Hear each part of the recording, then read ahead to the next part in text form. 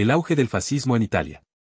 La expansión de las doctrinas socialistas y anarquistas, experimentada desde comienzos del siglo XX a nivel internacional, afectó al entonces Reino de Italia, produciendo una serie de agitaciones que fueron conocidas como el Bienio Rojo, donde durante los años 1919 y 1920 se generalizaron los consejos obreros, o asambleas de trabajadores que, inspiradas en los soviets rusos, buscaban asumir el control de las fábricas a través de la fuerza y la coerción. Las agitaciones comenzaron en la ciudad de Turín y se extendieron por la región de Piamonte para alcanzar posteriormente la Lombardía, en el norte de Italia, donde se estima que medio millón de obreros se fueron a la huelga, ocuparon fábricas y establecieron guardias rojos para defender los establecimientos ocupados. Las agitaciones se expandieron posteriormente a los campos, donde muchos campesinos ocuparon las tierras de sus patrones, y los trabajadores ferroviarios se negaron a transportar a las tropas estatales enviadas para reprimir las protestas y restablecer el orden. Finalmente, el Partido Socialista Italiano junto con algunos sindicatos negociaron con el Estado un retorno a la normalidad, dejando de lado las ocupaciones, a cambio de mejoras generalizadas y significativas en las condiciones de trabajo.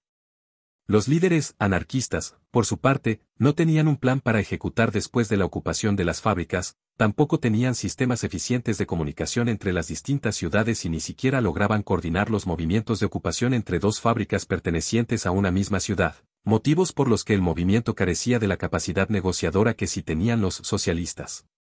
Finalmente, las fábricas volvieron a sus propietarios, mejoraron algunas condiciones laborales de los trabajadores y los líderes del movimiento anarquista fueron detenidos y arrestados.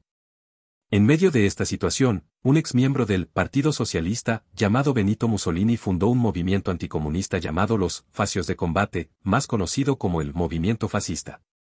El movimiento fascista pronto se convirtió en el Partido Nacional Fascista y contó con el apoyo de la alta burguesía industrial italiana y organizó una milicia voluntaria para la seguridad nacional, que era un grupo paramilitar y violento conocido por su uniforme como los camisas negras, que estaba destinado a identificar y reprimir por la fuerza cualquier intento de subversión comunista o anarquista. En el año 1922 Benito Mussolini, fundador y líder del Partido Nacional Fascista, organizó una masiva marcha sobre la ciudad de Roma, en la cual demostró el poder fáctico de su organización. En respuesta a esta demostración, el rey Víctor Manuel III rehusó declarar el estado de sitio, que habría significado enfrentar al ejército contra los camisas negras, y en cambio decidió ofrecer a Mussolini el cargo de primer ministro, investido de plenos poderes, para ejercer el gobierno del reino.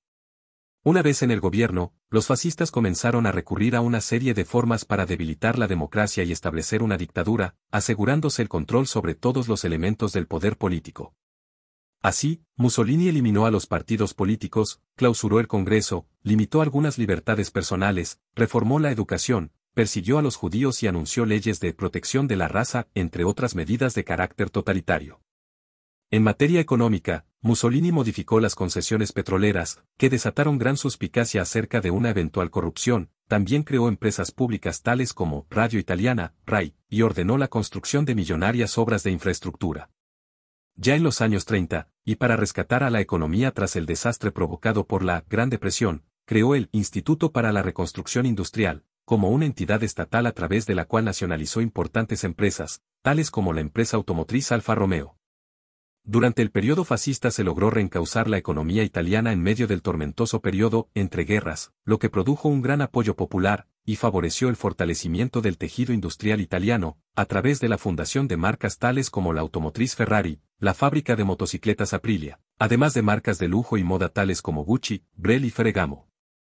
Encontrándose consolidado en su posición hegemónica, dotado de una gran cantidad de armamento y carente de oposición a nivel interno, Mussolini renunció a la presencia de Italia como miembro de la Sociedad de Naciones, SDN, y buscó expandir las fronteras de sus dominios coloniales en África hacia Etiopía, donde existía el antiguo Imperio Etíope, que no formaba parte de ninguna potencia colonial europea y era vecino de las colonias italianas de Eritrea y Somalia.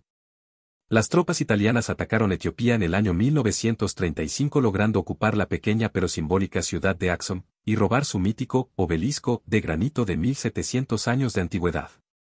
Los italianos arrasaron con los etíopes utilizando armas de destrucción masiva, bombardeos aéreos y atacando a miembros de la población civil e incluso a hospitales de la Cruz Roja, mientras que las tropas etíopes ni siquiera lograban comunicarse entre sí por carecer de los aún novedosos equipos de radio. El emperador etíope llamado Haile Selassie debió escapar al exilio mientras que las tropas italianas dirigidas por un general llamado Pietro Badoglio ocuparon la ciudad capital Addis Abeba, y anexaron su territorio a las provincias coloniales italianas de Eritrea y Somalia, rebautizando Etiopía como Abisina, para formar la provincia italiana de África del Este, declarando al rey Víctor Manuel III como emperador, vulnerando montones de normativas internacionales y desatando la ira del reino unido, que por entonces dominaba una colonia en la Somalia británica. Las pretensiones ultraterritoriales de la Italia fascista de Mussolini continuaron con la anexión del protectorado italiano de Albania en el año 1939, y pronto el dictador italiano formalizó su alianza con la Alemania nazi, con el Imperio de Japón y entregó su apoyo a las tropas rebeldes de Francisco Franco en la Guerra Civil Española.